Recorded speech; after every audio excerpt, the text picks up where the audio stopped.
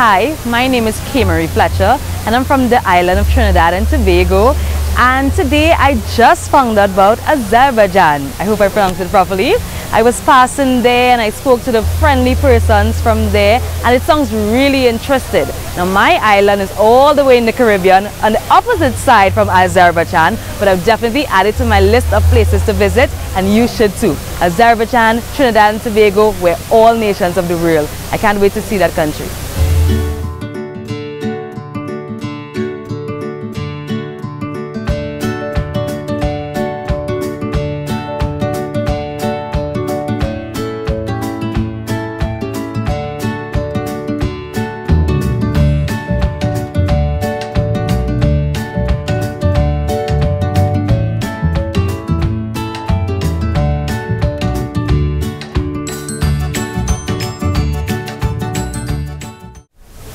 Yes, my name is Alejandro Maciel. I'm editorial director of Los Angeles Times in Espanol.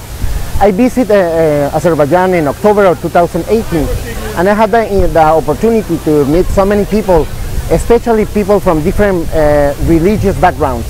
It was uh, Jewish, it was uh, Christians, it was Muslims, and they, they live uh, with no problems. And I was, it was interesting to see it because when you read the news in any other countries, you can see there's a many problems between the religious people. and you cannot see that in, in Azerbaijan. I was talking with some, some people and asking them what is the, the, the formula to, to do that. And they told me it's just to understand each other.